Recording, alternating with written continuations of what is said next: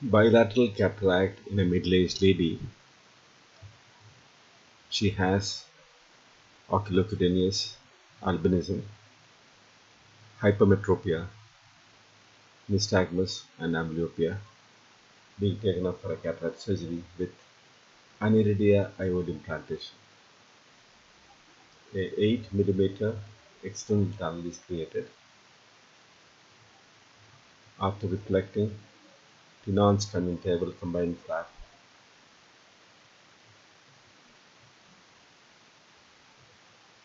The uh, aniridia lens has a diameter of 8 millimeters and it's got an optic zone of 2.5 and overall diameter of 12 millimeters.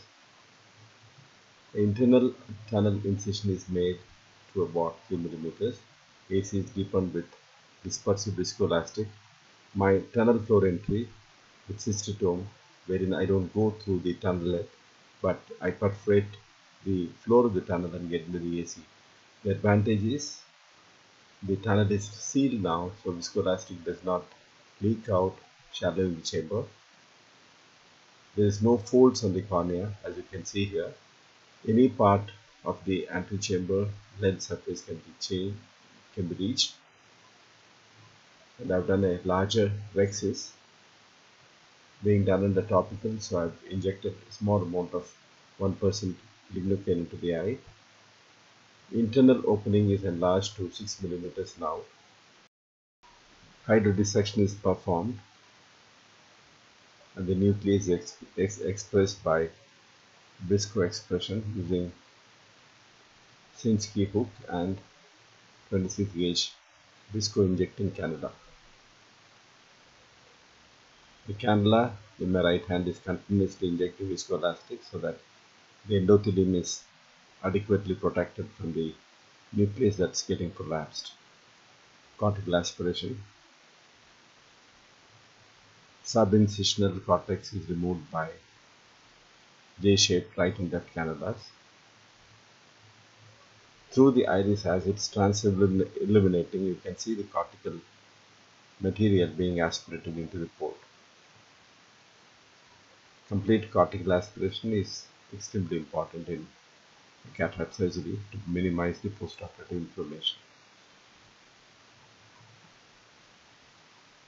Until capsule is adequately polished with the same cannulas,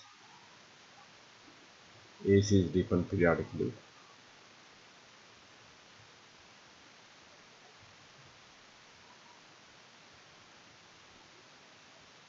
The entire uh, technique, entire surgery is a low pressure technique at no point of time the pressure inside the eye is increased. That is the Aniridia IOL. It has a diameter of 8 millimeters. The calipers is set to 9 millimeters. That's 8 millimeters. And it has got a central clear zone of 2.5 millimeters.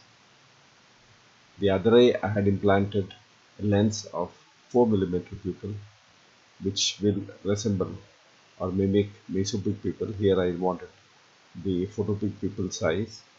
So I've chosen a lens with 2.5 millimeter pupil diameter.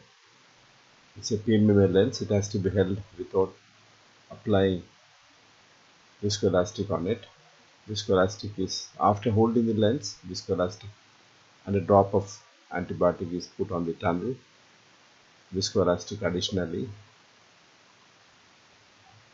and uh, it's snugly fitting it's the right size tunnel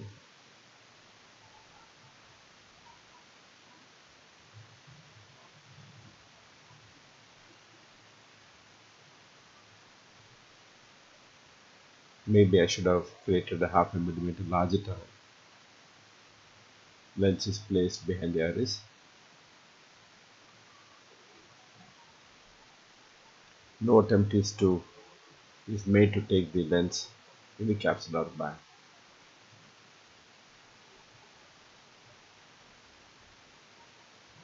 Visco is injected and the IOL is rotated to the posterior chamber.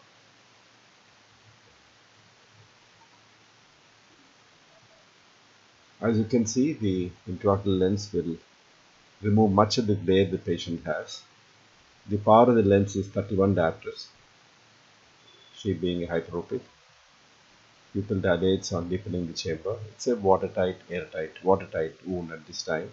So I can leave it uh, without any suture, but this will create about 0.75 diopters of astigmatism. So I will put one stitch in the center.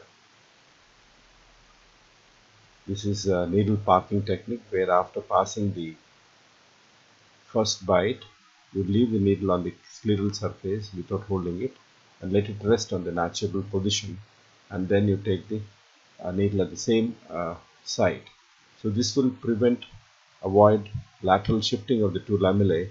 The lateral shifting will cause unnecessary gaps in the tunnel and also it will produce surprise astigmatism. So this technique, a single stitch in the middle is adequate need this uh, the knot is buried and the conjunctiva tenon flap is coapted with using the uh, Fibrin glue.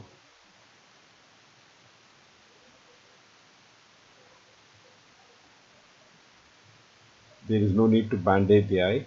I patient will start using the post-operative medication immediately.